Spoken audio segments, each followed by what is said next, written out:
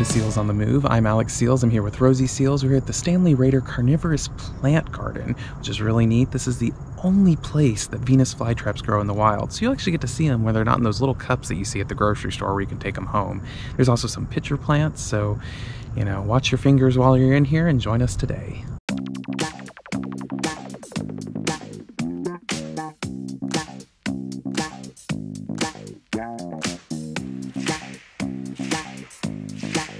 Mm-hmm.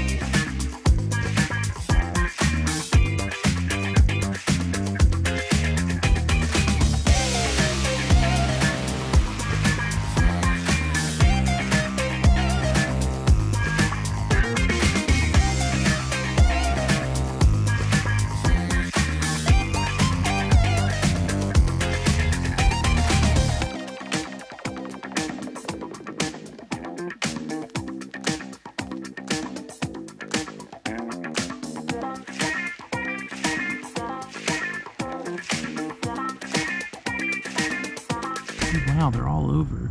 I figured they'd be a lot further, you know, up, kind of like when you see them in pots. No, they're all on the ground level.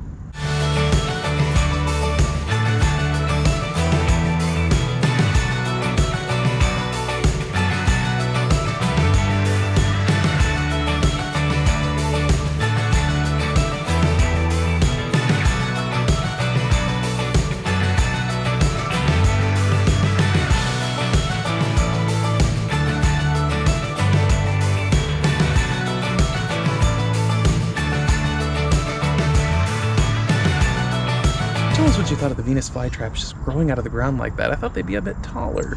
And tell us if you think those pitcher plants are, are pretty. Just leave it down in the comments. Make sure you like this video, subscribe to us, share this with your friends, and also hit that bell icon to be sure that you are notified of any of our future videos. Thanks for joining us today.